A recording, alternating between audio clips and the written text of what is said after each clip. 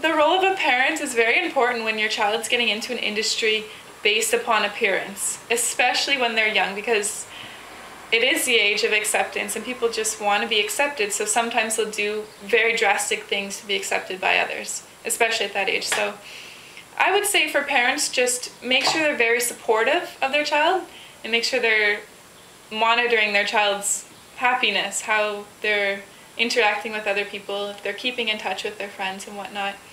I wouldn't say that they should restrict them from doing it because I really believe that if you're exposed to a whole bunch of different experiences then you you learn You a lot better, you grow as a person, yeah.